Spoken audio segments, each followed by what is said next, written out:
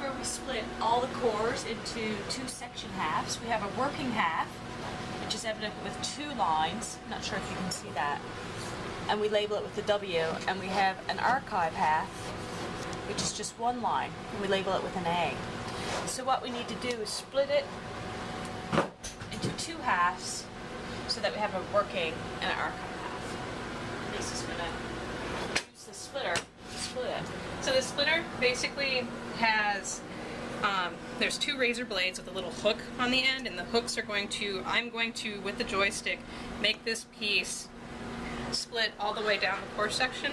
These two razor blades will cut this the core liner right here along the sides because this is a very thick plastic that can hold up to drilling, and it will split the liner in half like that we can split it apart. And this right here is, uh, we, we call it the cheese wire, but it's technically, I think it's a heavy duty like piano wire material.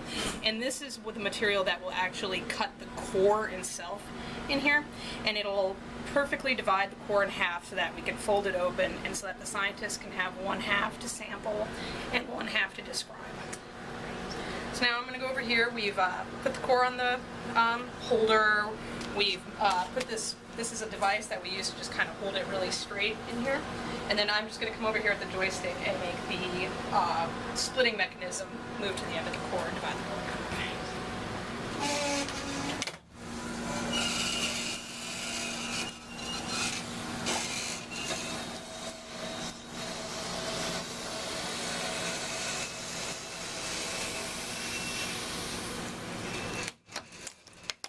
Okay. And then we take it from here. Give it a little whack.